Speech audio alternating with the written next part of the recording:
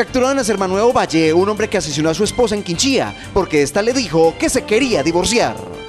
Hombre que lideró banda que secuestró al padre de un exalcalde de Pereira fue capturado en Cartago. Tiene una condena de 26 años de cárcel.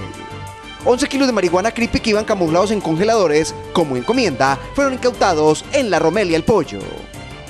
Menor de 16 años en medio de una riña asesinó con arma blanca a alias Tarzán en Calarcá. Bandas delincuenciales en Pereira estarían utilizando a ciudadanos venezolanos para tráfico de drogas, trata de personas y prostitución infantil. 285 personas han sido capturadas en el área metropolitana de Pereira por tráfico de drogas durante este 2018.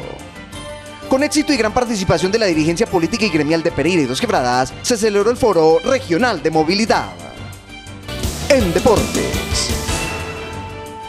Espere nuestra emisión de hoy los detalles de cómo se va a disputar los Juegos Interempresariales que organiza con Familiares Heralda y que reúne las empresas más importantes de la región. Y en la zona rosa.